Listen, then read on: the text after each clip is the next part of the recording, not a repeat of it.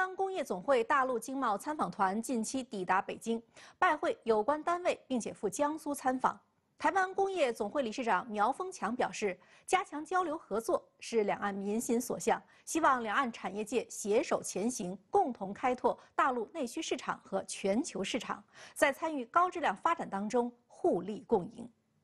中共中央台办、国台办主任宋涛在会见参访团时表示。我们全面贯彻习近平总书记重要指示精神和党解决台湾问题的总体方略，不断深化两岸融合发展。广大台商台企要把握中国式现代化机遇，融入新型工业化进程，实现高端化、智能化、绿色化发展，不断壮大中华民族经济。台湾工商界要从民族大义、台湾前途和同胞福祉出发，坚持一个中国原则和九二共识，坚决反对台独分裂活动和外部势力干涉。推动两岸交流合作，促进同胞心灵契合，积极参与推进祖国和平统一的正义事业，共创中华民族绵长福祉。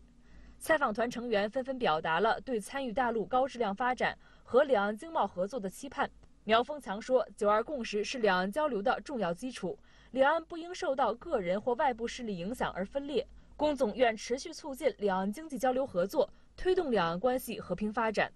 台湾工业总会理事长近期受访时表示，两岸贸易对台湾十分重要，台湾必须重视大陆日益成长的市场能量。台湾媒体也评论，多年以来，大陆一直是台湾最大的出口市场、最大的贸易顺差来源地，两岸交流交往顺畅是台湾经济成长的重要动力。而近期诸多台湾工商业团体到访大陆，也正说明了增强交流、增强合作是大势所趋、民心所向。总台记者北京报道。